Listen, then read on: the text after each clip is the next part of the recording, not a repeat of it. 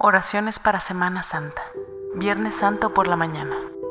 La inocencia de la verdad contrasta con el escarnio recibido. Es el día de la osadía, del arranque y del vértigo. El día de la verdad. El momento de la entrega se está produciendo en totalidad. Cristo sale de sí mismo por completo.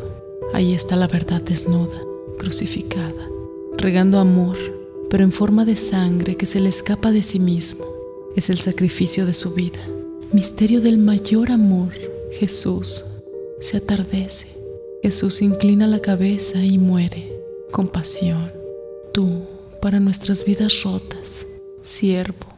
Tú que entiendes el oficio, toda la belleza que hay en la vida. Tú la ofreces al Padre desde la desnudez y la fealdad de tu cuerpo destrozado. Y lo haces así porque estás convencido de que tu mensaje de amor y justicia es posible y que el proyecto de Dios sobre el mundo llegará. Sucede como siempre. Mucha gente que habla, que grita, que murmura. Mucha gente que se esconde, que nunca da la cara. Voces en contra, pero ¿qué hablamos?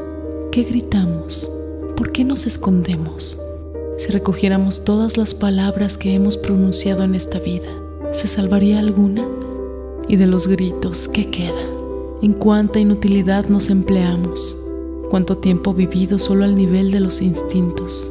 Mientras tanto, los que sufren se han quedado sin voz, sin justicia, sin pan, sin defensor. Dios, como el menor de los humanos, muere en cruz fuera de la ciudad para no contaminarla.